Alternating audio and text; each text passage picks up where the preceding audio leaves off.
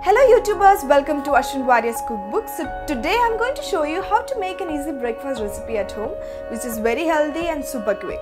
Banana oats milkshake. I'm going to make it for two people. So I'm using 1 glass of milk, 2 tablespoons of sugar, 5 to 6 tablespoons of oats, 4 bananas and a secret ingredient.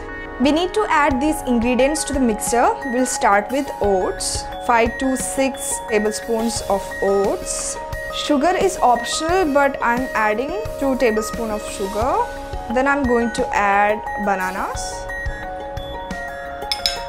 1 glass of milk and our secret ingredient which is coffee powder. I'm taking half a teaspoon of coffee powder and just blend it nicely. Let's give it a mix.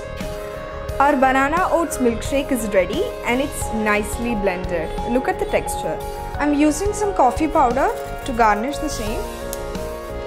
This is for all those people who don't have much time to make a detailed breakfast. Whether you have to go early to work or you woke up late and are feeling lazy to cook something, this recipe is for you.